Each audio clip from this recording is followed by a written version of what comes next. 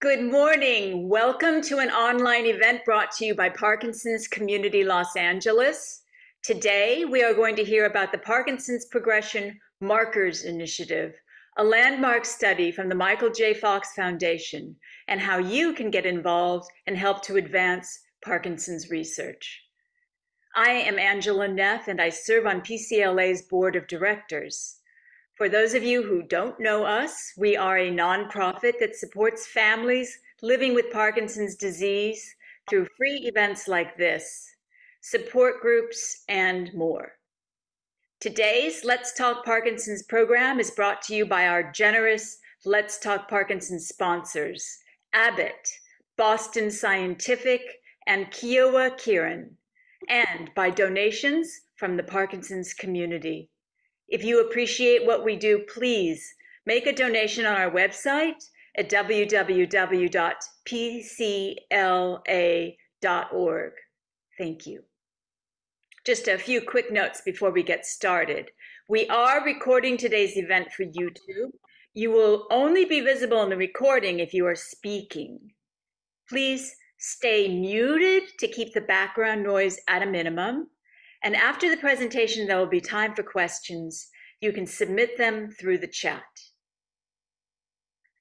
Please join me in welcoming our speaker today. Dr. Emily Tamadonfar is a clinical instructor of neurology at Keck School of Medicine of USC, uh, which is one of 50 worldwide clinical sites for the Parkinson's Progression Markers Initiative. Dr. Tamadonfar Thank you for joining us today. Thank you so much, Angela, for that introduction. And good morning, everyone. Thank you for joining so early um, this morning.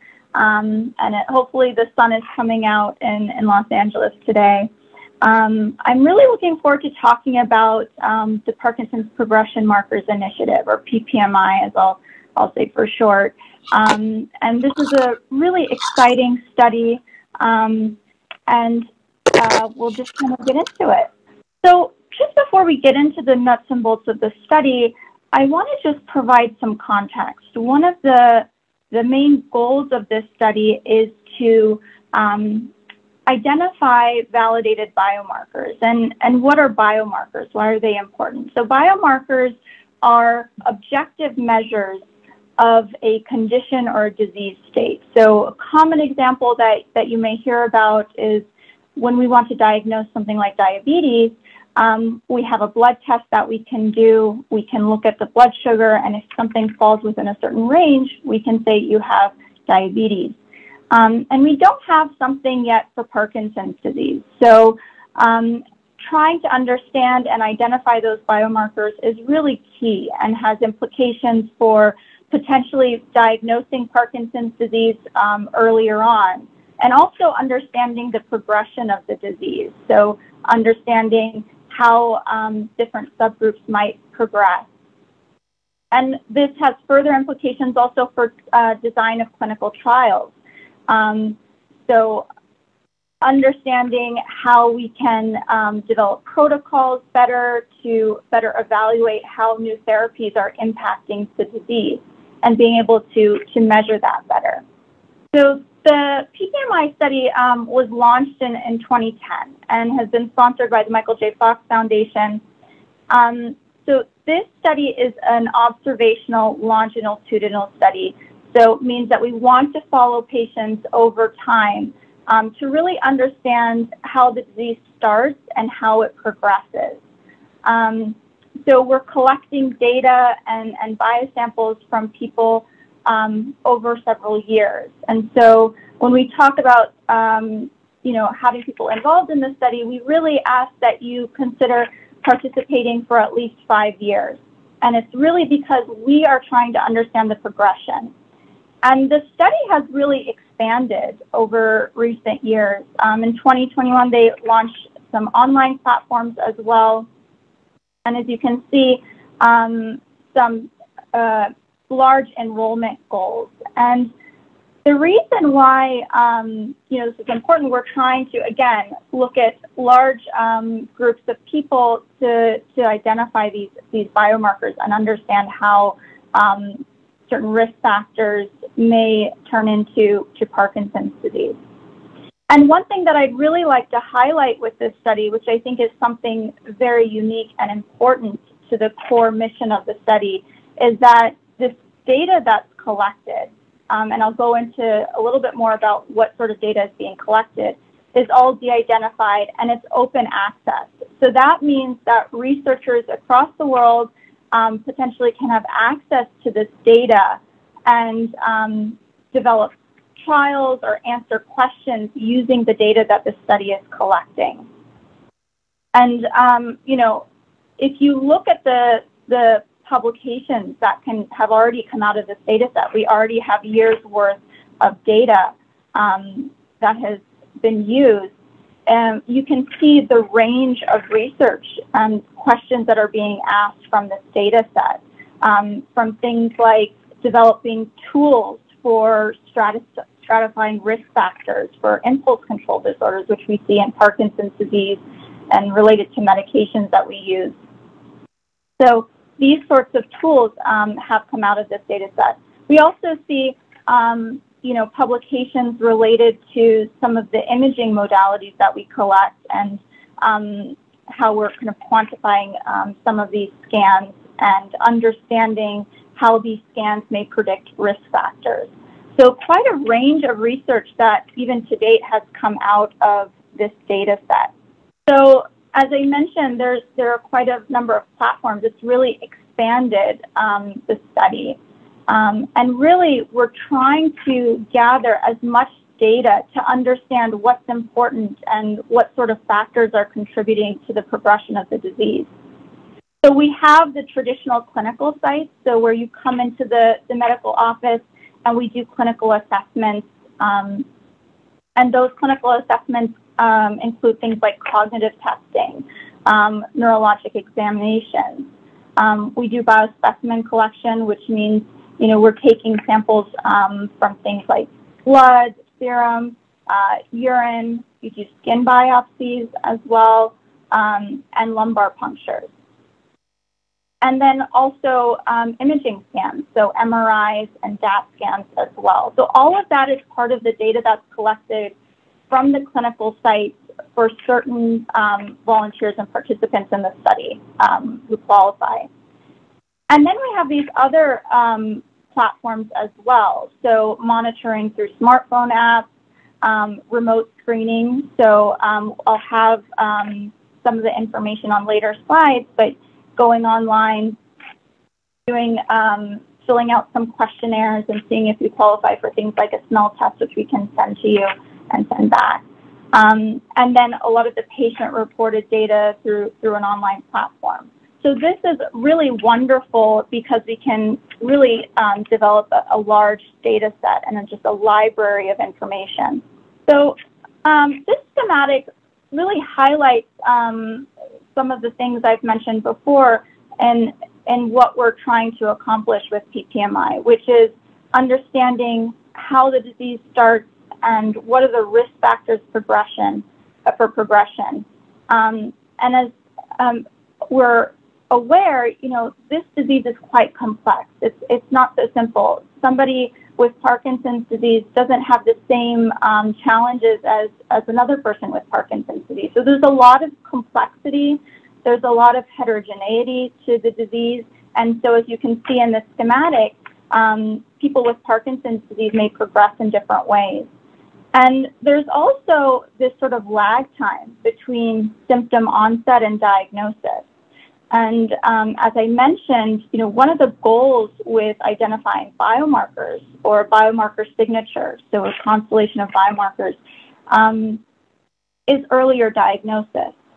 Um, and one of the ways in which this, this, study has expanded is looking at this prodromal um, subset. So people, you look at the left of the schematic, people who have um, risk factors for developing Parkinson's disease. So genetic risk factors like LRRK2 or GBA, um, but who do not have Parkinson's disease or symptoms. So we're looking at that group of people. And then um, also people with uh, REM sleep behavior, so acting out of dreams or hyposmia, which is loss of sense of smell.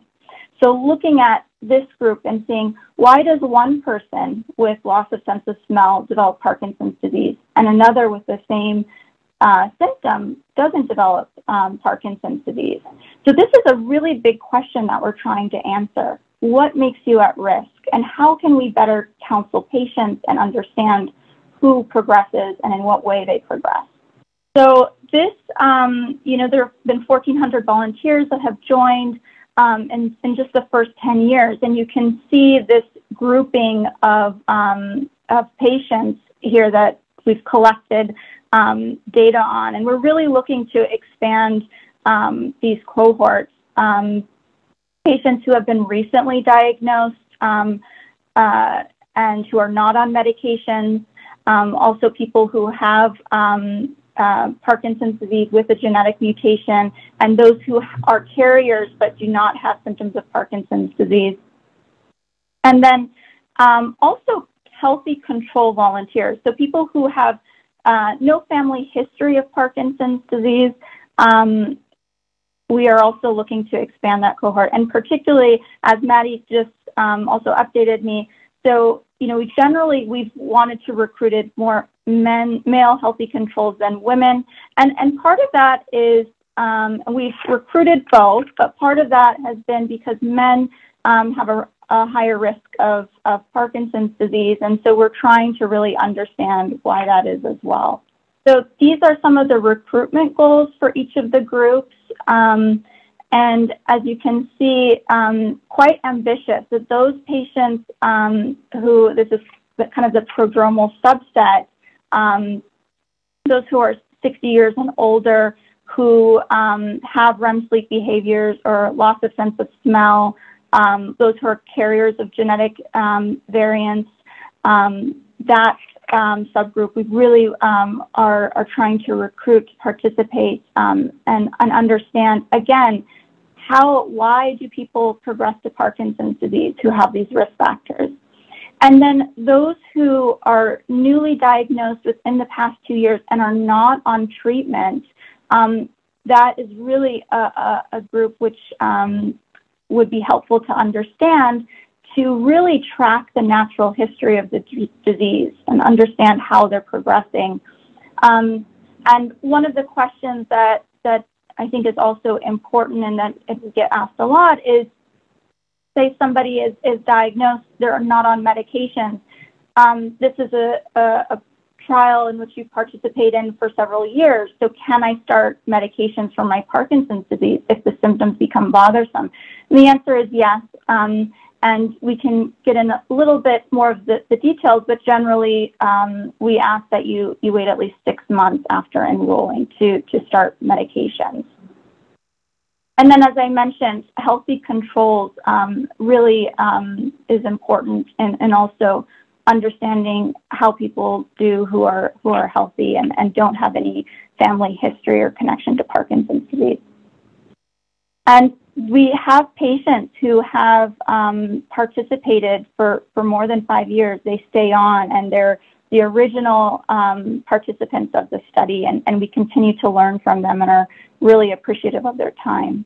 So this is really a global effort. So there are, there are sites um, in North America, but also in Europe and a site in Africa. So we have participants from around the world and are recruiting. Um, I want to just, again, highlight the online platform. I think it's one thing that's wonderful about this study is if you're 18 years and older, um, you, you can help and participate. Um, and so really spreading the word on this online platform is important. A lot of people are sharing their data through this platform. Um, and it's as simple as going on and, and, answering some questionnaires. And then also, there's any question about, um, you know, whether you qualify for, for further coming in for the clinic site visits, those sorts of things. The online platform has been really helpful um, in that sense.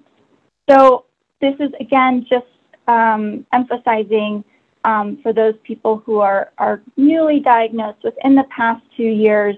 Um, I really, uh, if you're interested, encourage you to, to connect with us um, here at Keck, um, and we can uh, go through even more of the detailed um, informed consent, what the process um, includes, um, and how frequent the visits are, those sorts of things, what sort of time commitment. Um, and those who are 60 years and older, um, you can go and do to this website, mysmelltest.org, and take a smell test as well um, and see if you qualify even for the prodromal um, subset. But anyone who's 18 years and older can certainly um, gather more information and, and, provide some information through questionnaires. So with this last slide, again, I, I, I want to just emphasize um, what the, the main goal has been for the study, which I think the reason why we consider this a study which can really change the landscape for our field and really advance um, what we know. Um, so there are the scientific components of it, right? So the you know the markers that we're we're collecting and understanding how biomarkers can help us better understand the different um, types and, and subgroup um, patients with Parkinson's disease, which has implications for, you know, how we're designing clinical trials and how we counsel patients about, you know, once you have this diagnosis, what does the future look like? And it serves as really a resource for researchers. And, you know, one thing about this open access is we are able to answer more questions and also, you know, speed the time to um, getting this into the clinic. Um, so, in other words, um, having a bit more efficiency. I mean, we want to um, develop new therapies and, and help our patients as soon as we can. So, um, really speeding along the process. And this trial has, has meant to be really a collaboration among pharmaceutical companies, biotech, all to kind of develop new therapies. Um, this is a, a, very quick run through, but I wanted to leave a lot of time for questions as well um, and, and have my information there. Just to review, okay. just for me for review. Mm-hmm. Um, yeah.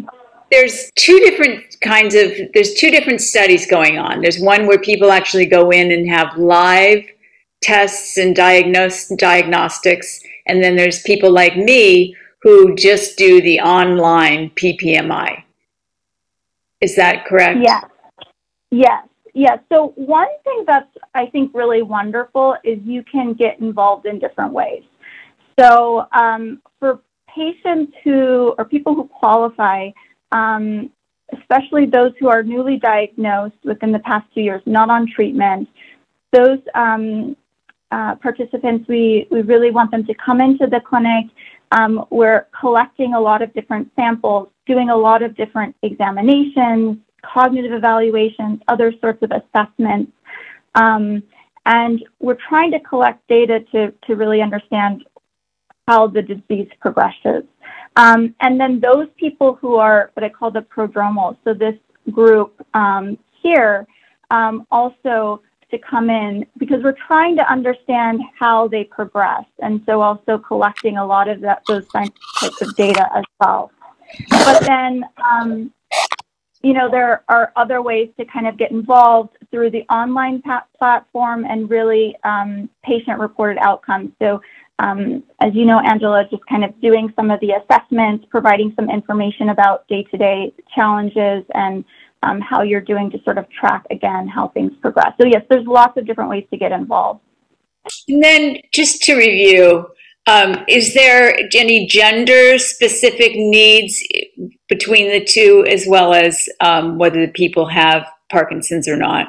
I know this is, you just told us this, but just to clarify.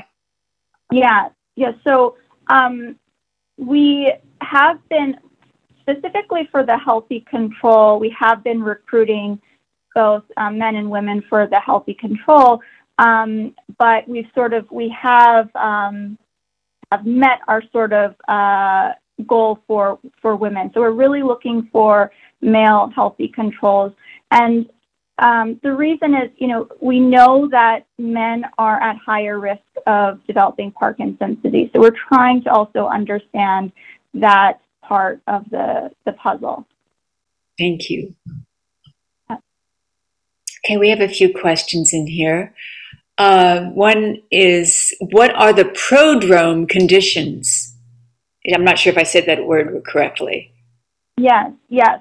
So prodrome is this group here. So um, we're really separating out to these groups, right? So the prodromal, and actually let me go back to this slide here because I think this kind of shows. So uh, prodrome is essentially those symptoms which predate motor symptoms, so stiffness, the slowness. Um, we're looking to see at what kind of risk factors, how we do, how we are able to better determine somebody, for example, who has loss of sense of smell. Um, there are a variety of reasons why somebody may have loss of smell, and a lot of people have loss of sense of smell, um, but not everybody develops Parkinson's disease. Right. So that group, but we know that loss of sense of smell can arise many years prior to having Parkinson's disease, right? So um, patients can have 10, 20 years of loss of sense of smell before they develop Parkinson's disease. So we really want to follow those patients and understand that. The same thing with REM sleep behaviors, the acting out of dreams. Um, we know that a, a you know, 50% of patients um, with Parkinson's disease have these sorts of REM sleep behaviors and that can also uh, be present prior to ever developing the motor symptoms. And so we're trying to target those patients. So those are the categories that we're looking at, at now. I mean, we know there are other uh, uh, kind of pre um, motor symptoms or non motor symptoms, things like constipation as well. But the groups that we're looking for in this study are those who have loss of sense of smell, those who have REM sleep behaviors, and those who have certain genetic variants. Um, and, uh, um, and that's who we're kind of re- recruiting as of now. Thank you. Uh, here's another question uh, from Stephen. There is a group over over 65 with diagnosis in the last decade. Where do they fit in your research? Yes, so we're we're focusing on those who are newly diagnosed because we're really trying to understand how it evolves. So um, you know we we are focusing more on those who are newly diagnosed at this point in time. We have patients and participants who have been in the study, you know, for 10 years, and um, certainly they're advancing. But as of now, that's the group that we're looking for, the newly diagnosed. So they sh- so one place these people could go is do what I'm doing, which is the PPMI online, online study. That's where, where they would fit into the research. Yeah, yeah, but, exactly, yeah. So, um, are people with a first relative, i.e., parent with PD, able to participate? Yeah. So um, again, I would urge you to um, go to the online platform if, um, but not necessarily for the healthy control that we, you know, we collect other biosamples on. So the healthy control, we want people who do not have first degree relatives, so parents, siblings, children. Um, we want people who, who have no real connection to Parkinson's disease. But you can certainly um, get involved through the online platform um, filling out the questionnaire. Very interesting. Okay. I'm glad mm-hmm. that question was asked. Uh, Deborah had um, had a question about um, demographics and encouraging other people besides non-white, I suppose, um, people to to participate. And she, uh, Maddie, um, responded that you're making great strides in recruiting from underrepresented groups. Is there anything you'd like to mention to us about people, or groups of people that you um, would really like to have, have help getting out outreach to? Yes, I'm so happy this was brought up because we are really wanting to recruit from a from a diverse population. I mean, um, because that is you know that is who we're trying to understand. It's really limiting if we are excluding groups of people or not reaching out to them and they're not involved. So um, certainly, I I think you know one of the wonderful things about Los Angeles is we have such diversity here. Um, and one of the reasons why we have such all these global sites is because we want to um, we want to have that diversity in the study. So um, yes, I would you know reach out, tell everyone you know, um, because we would really like to capture that diversity. And we're making a lot of strides, doing a lot of um, community outreach as well, just locally um, to kind of help with that. Because I think the more that people kind of understand the study and, and how we're using the data, I think it, it makes it much more accessible. Uh, I think this has been answered, but my grandfather was diagnosed with Parkinson's. Am I eligible as being a genetic risk at, gen- at genetic risk? Yes. So for the genetic risk component, um, I think this is this is a really good question about um, because so I will start by saying, you know, we would want some genetic testing done to know whether or not you have the variant or mutation. Um, and so, especially those who are of Ashkenazi Jewish descent, um, I believe, um, and Maddie, correct me if I'm wrong, um, we offer genetic testing um, for that group of people. Um, so um, we are looking specifically if you have the, the variant. Um, so not you're not necessarily considered genetic risk just if you have a family member. We need to identify that you have the variant. Does your research include patients with multiple diseases? So maybe Parkinson's and something else? Yes. So um, we would have to go through what I would really encourage you um, if you have um, other medical conditions, which so often we do as we age, we have, um, you know, more things that come with that. Um, I would encourage you to reach out and we can kind of go through your medical history with you and see if there's anything specifically that would exclude you from participation in the study. Um, I, I, think that just to kind of um, go off of this question as well, because this is something that comes up and I think is, is a really good um, point we were talking about a little bit earlier, Angela, um, is if you participate in this study, does that mean you cannot participate in other studies? I think that's something that comes up quite a bit because this is an observational study. So we are not doing any sort of intervention. We're not giving you any treatment necessarily. We're just tracking how things change over time. And so um, especially for people who are newly diagnosed. Um, there are lots of different clinical trials coming out now looking at medications which potentially modify the course of the disease. And so you may qualify for something like that. Can you participate? Um, and um, participating in this study does not necessarily mean that you cannot participate in other studies. And it, it, you would have to kind of discuss that as well with your coordinator but it doesn't necessarily mean if you're doing this study, you can't do another study. Great.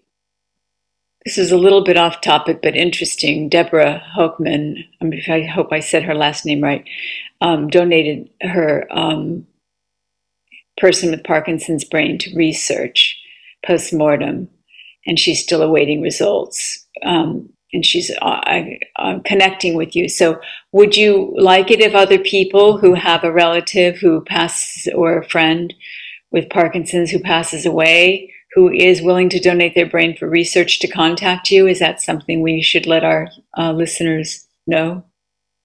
Uh, yes, you can contact us and we can kind of direct you. There are other programs, not necessarily with this study, um, but certainly other um, efforts out there doing some work. So um, I would um, encourage you to just connect with us. Yes, there is a um, pathology core in PPMI, and a lot of people have donated their brains to be studied. Um, and currently, because there isn't a lot of options for testing for Parkinson's or um, imaging for Parkinson's, a lot of the findings that have come out of Parkinson's research are um, with those postmortem donations. So it's definitely very important. And yeah, Emily can link you with the the folks that are in charge of that. Uh, I'd like to give the opportunity for spoken questions for anyone who isn't able to type. Can you you can unmute, just say your first name and ask your question. Um, I, I wrote it out. I said, please correct me if I'm wrong, but I never hear about studies for those of us whose disease is progressing, sometimes very dramatically. And uh, is anything being done for people like that? Where do you go for help with that? Yeah, so I, I thank you, Patricia, for the question. Yeah, I think that's one of the, the real challenge, right? I, I see this come up so many times is that a lot of the therapy is directed at, um, and a, a lot of the new trials is directed at understanding how we can affect change in sort of the progression of disease. So a lot of targeting of early or newly diagnosed. I would really encourage you, you know, with with the clinical sites, and if you really would like to get involved in, in, in trials, um, I believe um, Michael J. Fox has has actually a clinical trial finder uh, where you can kind of put in your information and see what's available near you. Or you can always contact us and we can can talk about what's available and what you may qualify for. Um, at this time, I don't believe our site necessarily has anything for more advanced Parkinson's no. disease right now but I would really encourage you to kind of see um, what local sites are there and, and, and track through that. Thank you. And also, I just want to make sure that um, you do uh, come to our support groups because there's a lot of information in the room. A lot of different people are aware of the different studies and can potentially help you, um, direct you can't promise that, but it's definitely a good place for networking and emotional support is very important when you're going through this. And we're here for that. This is uh, Tom, and the question I have is got to do with donating your brain. Does the family ever get any feedback on it, what was found or discovered during autopsy of that brain, or? Yeah, I so I am not sure exactly on the process. Maddie, do you know um, as part of PPMI what the process is? Um, I don't know, unfortunately, but um, if you want to, I put my email in the chat somewhere, and that's something that Emily and I can look into if you'd like. Yeah. Okay. If, if you want me to speak to my personal experience doing it, it was outside of um, Michael J. Fox. Uh, I can find the site. It was, you know, a legit site that does intake and matches you to an organization that's doing research um, that is close to where you live because there's a very short window after someone passes away for the brain to be received by the entity that's going to do the, the autopsy. Um, so they connect you. Uh, in my case, we were connected to UCLA, and I live in Los Angeles. And um, it, I was told there's a you, you fill out a lot of intake information, and then there's a box to check whether the family would like to see the results. And my family checked yes, please. And we were told it would take about two years for my family to receive those results. Now, my person with Parkinson's passed away during COVID. It's been just past two years, and I checked in with them, and they're like, oh, "We're running late. I'm sorry. It's probably going to be around summer that you'll hear." So I am still awaiting results, but there is the option to find out. It's supposed to be free. There was a little glitch in that process with me. Uh, so if you're interested, I can walk you through that, and I will be happy to pass along to uh, PCLA, you know, how I how I got into that intake. The other thing that's a little different, um, and I'm not affiliated with any of these things. I'm just trying to do my part for my family and for Parkinson's. The other thing I did was before my persons with Parkinson's passed away, I banked some of his blood because we had done what's called the neuropsych panel and he came up negative on everything. But I know that science advances. And so I banked some of his blood so that when science advances, hopefully we can run tests on his blood to see whether there's some something there that had not been um, part of the analysis when the neuropsych panel was done. And because my personal belief is it's easier to find out that information on the person who is already diagnosed than subject people who are alive and have not yet been diagnosed with that information, because that can be traumatic and it's a hard decision. So I banked his blood. So that's, I would encourage people to look into that. If people are already diagnosed with Parkinson's and they want to do something with for their family, I can pass that information on to PCLA as well. It was a very modest uh, amount of money to bank the blood. It was, I forget, like I want to say $95, $75, and they hold it for 50 years. Oh.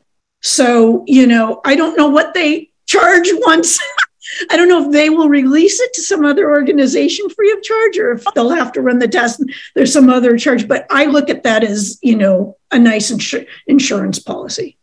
Okay. So I'm happy to pass those two things along, but that's what I did for my family and for further Parkinson's research.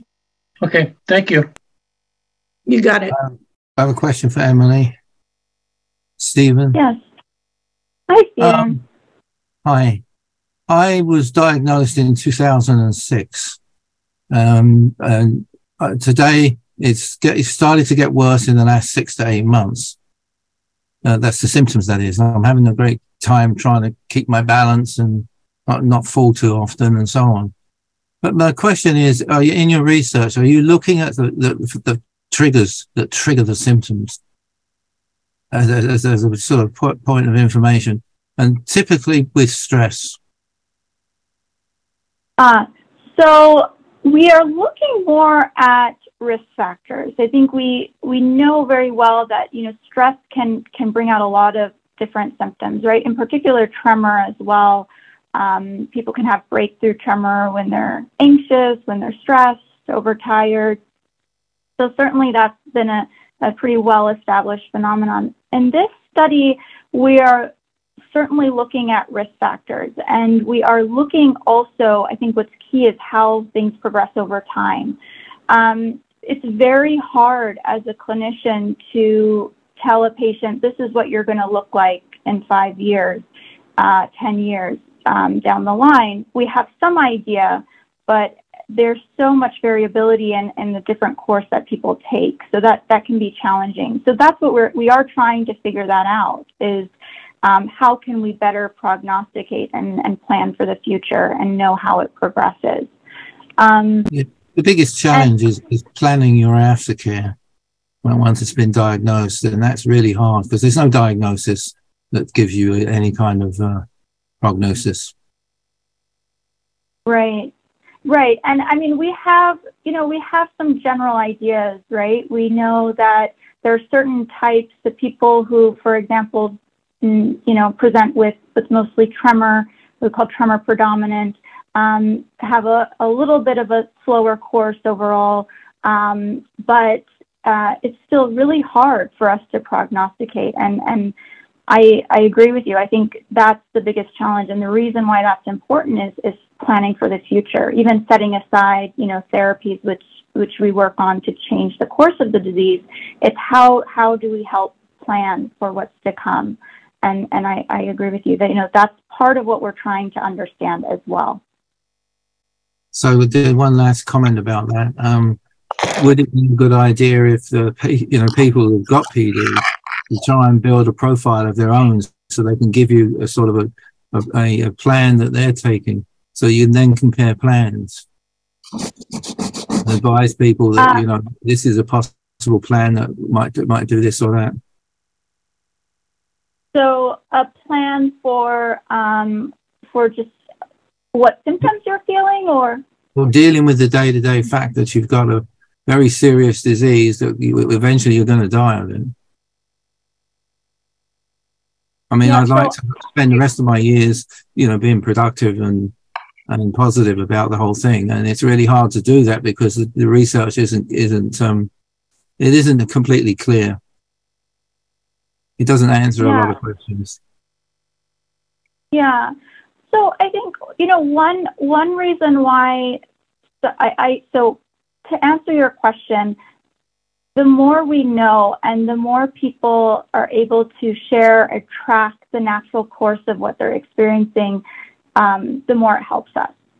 Um, one thing that I think is really important about having this sort of open access data set, it's, it's really a library of information, right?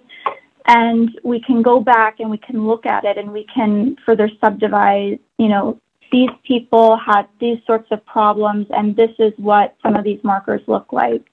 Um, that's really key. But the fact that this is an open data set which can be shared, I think really helps us to be more efficient in, in finding these answers. Um, So and we so could, we that's could, as a patient, really we could have access to that data. So, um, so uh, the access to that data is is really through researchers right now. Yeah. Okay. And Um, and um, drug companies have, so people who are developing solutions also have access to it. Right, right. So this is really meant to be something that facilitates collaboration and facilitates collaboration through industry, through the pharmaceutical um, companies, biotechnologies, so people working on devices um, as well. Um, it's meant to kind of be that that sort of resource for them, so they can can better develop and and um, create therapies. All right. Well, thank you so much, um, Dr. Tamadonfar, for joining us um, today. And thank you all for your great questions and attention. Um, some great events coming up. Um, you can join us next week to learn about a new treatment that targets off times in Parkinson's. And next month, we will learn about the benefits of the Alexander technique and about how palliative care can benefit and families living with Parkinson's. And palliative care is something you can start planning for early. Um, we will also celebrate the creativity of our community with our second annual Poetry Jam event online. Links to register for these events are, as well as updates for all of our programs, will be sent out to our email list.